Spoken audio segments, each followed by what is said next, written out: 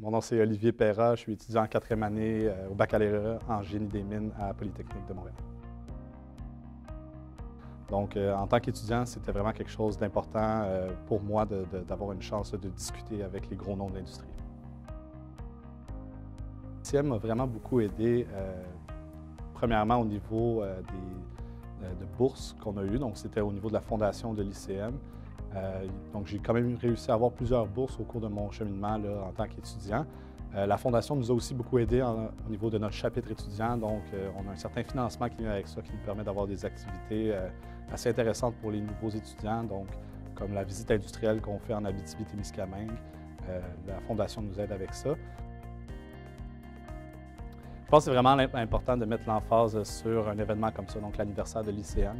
Euh, ça permet en tant que tel de promouvoir euh, au niveau des étudiants et de toute l'industrie euh, qu'est-ce que l'ICM est capable de faire et d'apporter au niveau de l'industrie. ça permet vraiment de promouvoir et d'avoir plus de chances d'avoir des événements pour faire du réseautage et vraiment d'amener plus de gens ensemble. Donc. Bon 120e ICM!